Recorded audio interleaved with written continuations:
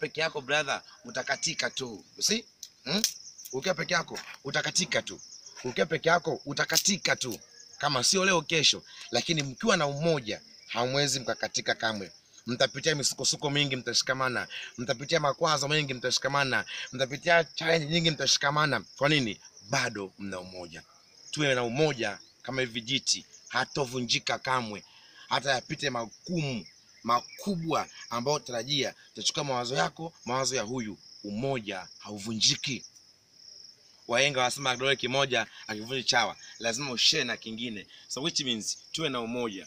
Wito wangu viongozi wenzangu wafanyakazi wenzangu wataasisi mbalimbali mwe mashuleni mwe ni wanafunzi umoja unafanya mtu afanikiwe. Acho binafsi acho peke yako acha ujuaji wa kila jambo. Kila kitu unajua wewe tu unajua wewe tu. Haiwezekani bwana. Hebu shia na wenzako. Anajua a unajua b. Mlikutana pamoja mnajenga umoja wenu mnajenga taasisi mnajenga sehemu kubwa sana. Nitoa wito tuwe na umoja makazini tuwe na umoja sehemu zote. Mungu tusaidie na mungu tubariki tuwe na umoja wa maana. Amen